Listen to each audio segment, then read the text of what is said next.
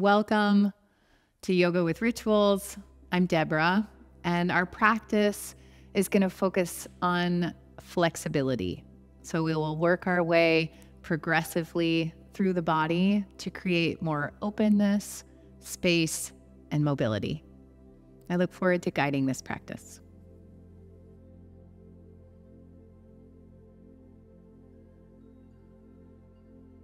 So, we're going to start in a seated position in this practice. I want to invite you to have a scarf or a long towel because in a certain part of our practice, we're going to use that. So, feel free to pause the video, go grab it, and come back.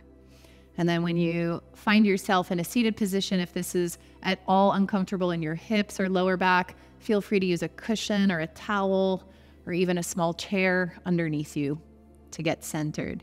So just gently coming to a seated posture, closing your eyes. And taking the first few minutes of our practice to feel your body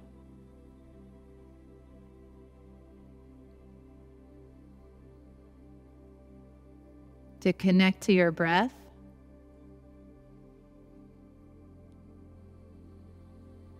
Begin to lengthen gently the duration of your inhale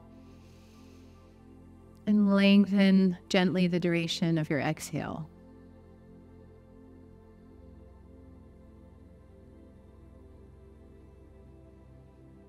Coming to a nice, deep, slow, and steady breath. Take your time. Sometimes it takes a few breaths to find kind of long rhythm of the breathing. There's no hurry.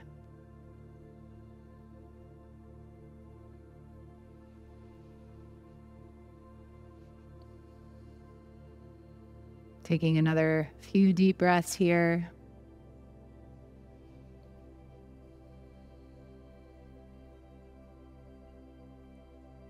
Good. And then gently opening your eyes. We're going to start just with creating a little bit of flexibility and space in the neck.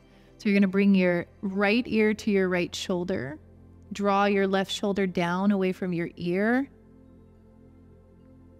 And breathe, feeling the space created kind of along the left side of the neck. Coming back up slowly, slowly to center. You're going to take your hand on the top of your head and gently, not pulling, just provide a little bit of guidance, very lightweight into the top of your head, moving into a slightly deeper stretch. Breathe. We hold a lot of tension in our neck, which can lead to restricted mobility and flexibility. One more breath. And then coming back up to center, release your hand. Take that left ear to the left shoulder, drawing your right shoulder actively down away from your ear. Breathing.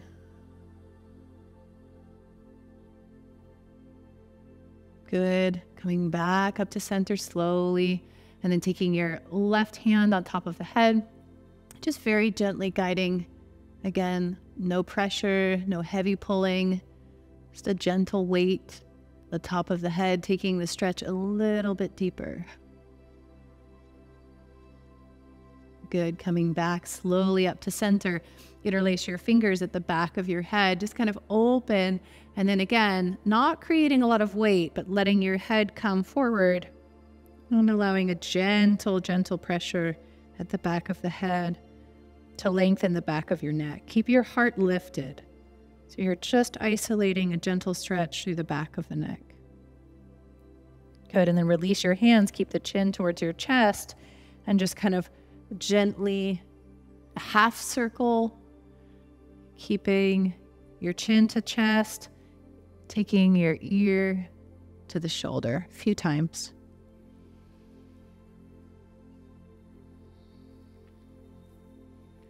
Good. And then coming to center, coming back, and coming to hands and knees position. So moving now into the spine a little bit from the neck. So we're going to just do the very classic cat cow transitions, letting your belly come down lifting your head. And then exhaling, rounding the spine, pulling the belly in, pressing the back of the heart towards the ceiling. So you're just creating mobility and flexibility through the spine, really allowing a full extension before you mm-hmm. move into the flow of the next posture. So, really pushing into the back of your heart, press your hands down.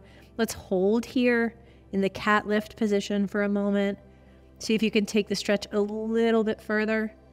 And then let's hold in the cat lift position again, dropping the belly, lifting your heart. Kind of let your shoulder blades draw together, opening, belly nice and heavy. Good. And then widening your knees, bringing your toes together, sitting back into child's pose. And this, I want you to actively pull your hands forward as you pull the lower back down. So your arms are active here, nice and strong. You'll feel this stretch through your shoulders. Good. Wiggle your hands a little bit more forward.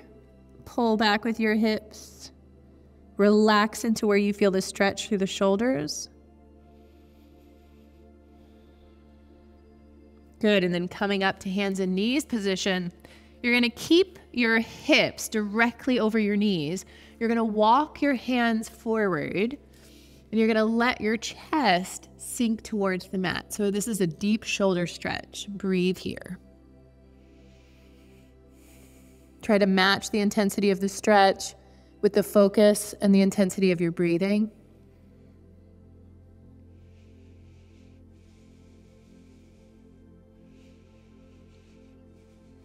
One or two more breaths. Good. And then slowly take your time coming out of that posture. You're going to find your scarf or your towel. And you're going to take it kind of a quite a bit wider than shoulder length. We're going to come to a kneeling position here. And you're going to allow your hands to reach up and we're just going to make kind of circles going back. And this really helps with the flexibility through the shoulders and then coming all the way forward, taking the arms down. And you're going to come back up. Let's do this two or three more times, taking your time going down. If it's hard, make your hands a little wider. If it's too easy, bring your hands closer together. Slowly, kind of moving front and back Good, let's go one more time back. One more time forward. Good, and this time as you come back, we're gonna stop at the first place that you feel a stretch, that really juicy stretch. Hold there. And then you're gonna bring your right hand a little bit up towards your ear, slightly arch the body up and back stretching into the side body, you'll feel a deeper stretch at the inner shoulder. Breathe. Good. And then coming back to center, take the other way. Go ahead and pull back down with your right hand, up with your left hand. And again, find a deeper stretch into the shoulder. Good. Back up to center. Take the hands back. Pause at the next place of tension, holding for a moment, breathe, and then dropping down. Good. Let's take the towel one more time forward. Ah, feel the release through the shoulders. And you're going to release that kind of back behind you or out of the way for a moment. And go ahead and sit back on your heels. Just drop the shoulders nice and heavy just let the energy circulate, feel the benefits of that stretching and what we just did.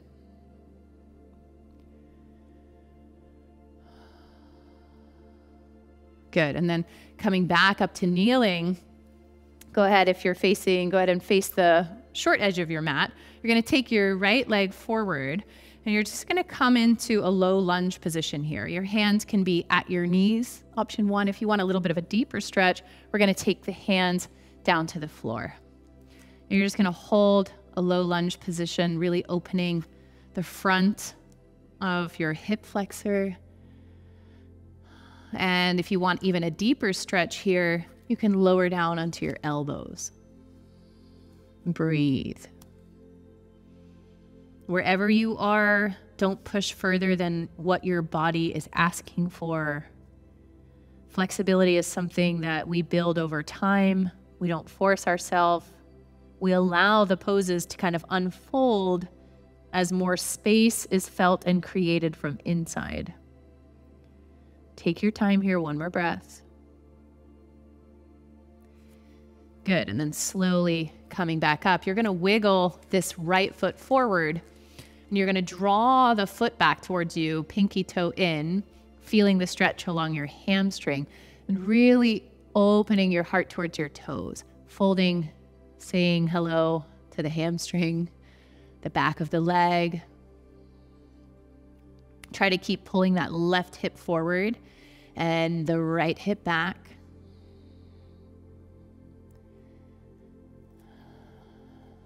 Good. Take a few more breaths, bending into the stretch.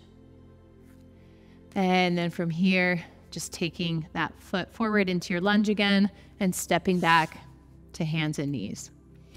Step your left foot forward, other side, so you're moving into the low lunge position. Again, you can hold here in a lifted position or you can come onto your hands. Starting at the hands to give your body time to adjust into the posture. Again, finding your breath.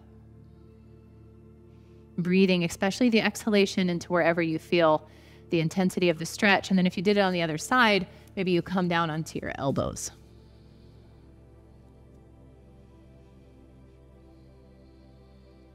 Good. Keep the breath active, conscious.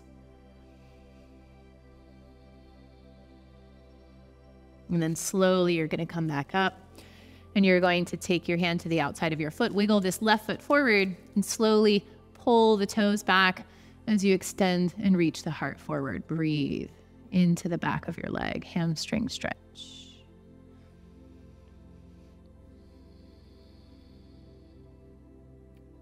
Really nice, slow, deep breaths here.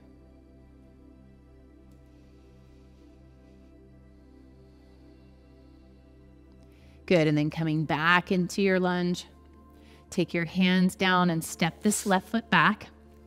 And then I'm going to invite you to come to the wall. This is an intense stretch through the quadricep. Sometimes we neglect the front of our legs. So we're going to come to the wall. You can take your scarf or your blanket or towel, place it at the wall. We're going to start with our left foot. So you're going to take your left knee as close to the wall as you can, but if your quadriceps are tight, move it away a little bit from the wall. You're going to go ahead and extend your right foot up, and you might stay here. If you already feel the stretch, you can stop. Otherwise, if you want more, you're going to go ahead and lift up and press your torso back towards the wall. Breathe. You're going to push the knee down into the floor if you want more of a stretch as you lift up through your heart. So good for the front line of the body, quadricep, the hip flexor. Take another two slow, deep breaths here. I'm not sure if you hate or love me at this moment. You're going to wiggle your front foot forward, and then you're going to let your hips come off the wall, and your hands are going to come to the floor. Hello, hip flexors. One breath here. Good. And then let your foot come off the wall. And we're going to do the other side. So you're going to take this right knee up towards the wall. Again, find the right distance away from the wall that works for your body. And then you're going to sit back, lifting the chest, pushing the weight into the knee, and breathe. Nice and easy. Ooh, intense stretch.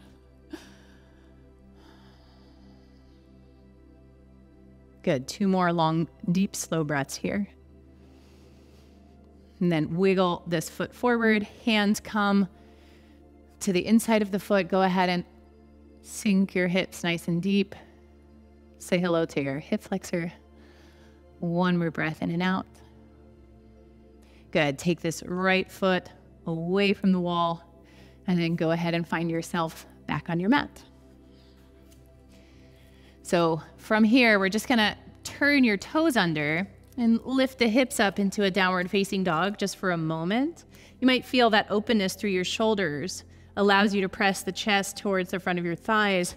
And the work we did in the hamstrings is gonna help your heels reach further down towards the floor. So go ahead and bend your left knee and your right knee.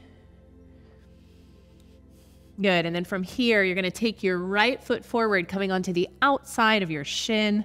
You're going to sit your hips back, moving into pigeon pose for the hip. So you're going to inhale and lift really high with your heart and exhale, slowly start to come down. You might stop on your elbows. If you need an extra support, you can bring a blanket or a cushion underneath your hip or use the scarf or towel that we've been using. And if you feel open, you can slowly start to take the pose down to the floor. Now, consciously direct your breath. So allow the breath to move into the place that you feel tight. When we're creating flexibility, we never want to tighten around where we feel the stretch right? This tends to lock the body and limit flexibility. So we want to try to release and soften into the area where we feel the stretch and move progressively and patiently deeper into the posture, deeper into the body. Breathe. Maybe three more breaths here.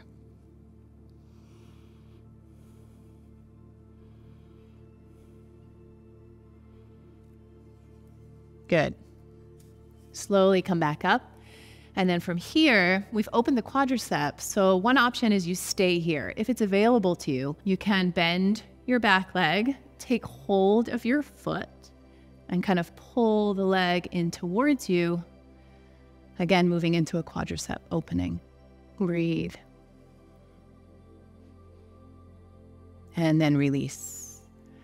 Beautiful. Take your time coming back into a downward facing dog.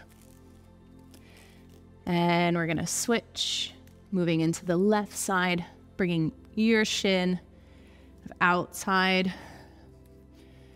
Breathing in as you lift the heart and exhale wherever is available to you. Maybe you stop here. Maybe you come to your forearms. Maybe you take your time and work with your body to slowly and patiently lower down to the ground. Breathe. Again, creating space into where you feel the stretch. Try not to shut down or clench.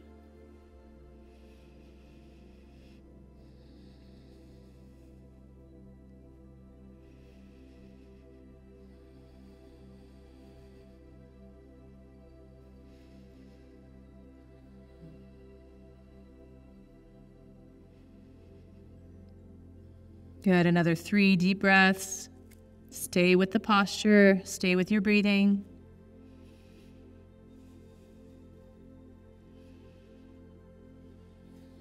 Good. And then slowly come back up. If you did it on the other side, go ahead and bend your knee, find your foot, pulling the ankle gently and slowly towards your hip. and release. Good. Go ahead and step back into down dog. Drop your knees to the floor. Inhale, cat lift position, and exhale, sit back into child's pose. This time the arms are passive. You let them drop, forehead to earth. Take a few breaths.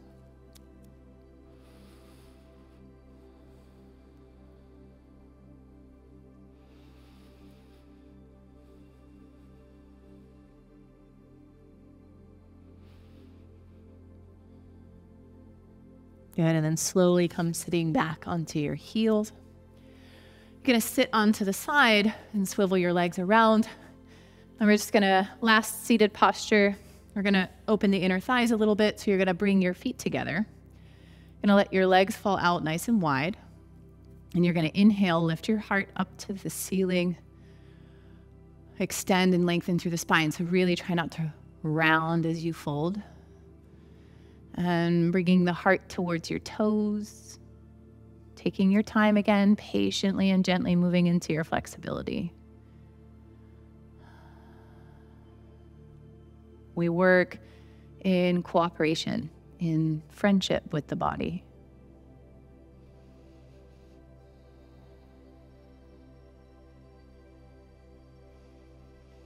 I really like to really encourage students to talk to their body the same way that they would talk to their closest friend. With kindness, attention, compassion, understanding. We tend to be really overly self critical. Can you meet your body where you are?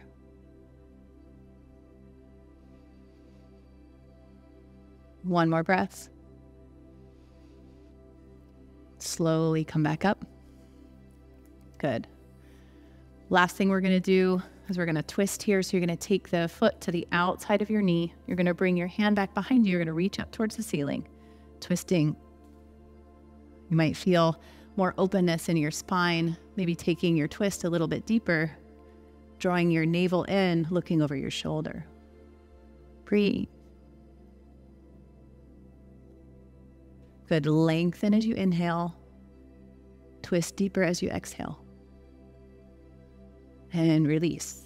Go ahead and do the other side. Left foot crosses over.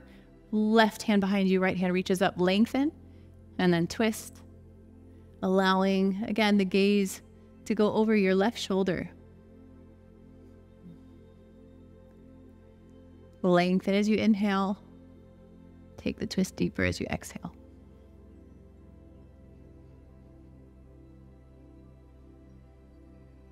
Good. Slowly untwist. And you're going to bend your knees and just find yourself coming to lay on your back.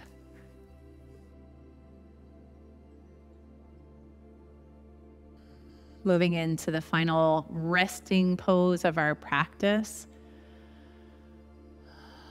Take a few really deep breaths. Go ahead and inhale through your nose, exhale through your mouth. Inhale through your nose. Exhale through your mouth. One more inhale. And exhale.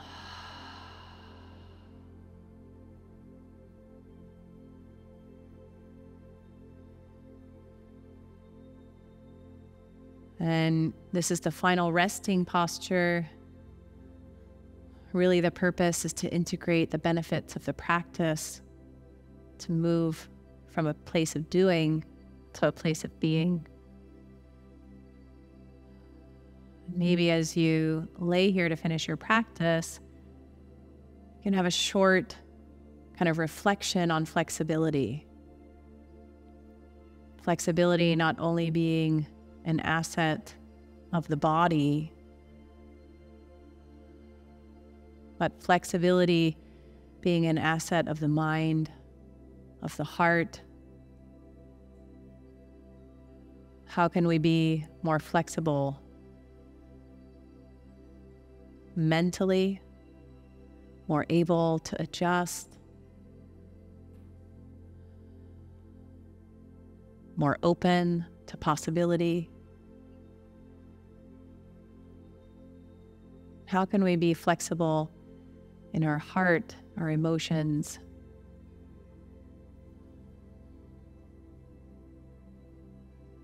Working to more deeply understand our own needs and the needs of others. Being flexible in our expectations.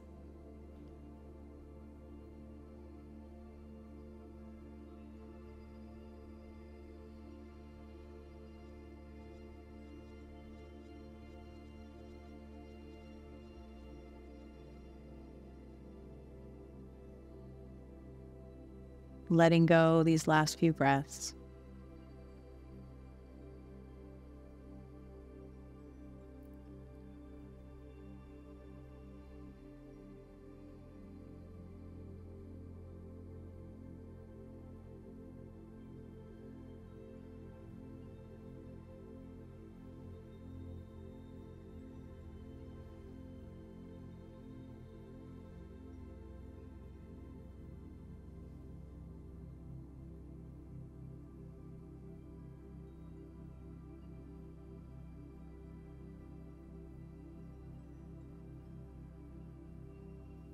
When you feel ready, just gently drawing your knees in towards your chest, rolling over onto one side. Take your time, pause, and press yourself up to a seated position. Closing your eyes, taking a moment to feel the spaciousness that we created through the practice. Another feeling of flexibility. Yoga is about so much more than being flexible. It's about deeper levels of self awareness, finding a place of spaciousness and peace within ourselves so we can be more peaceful to those around us.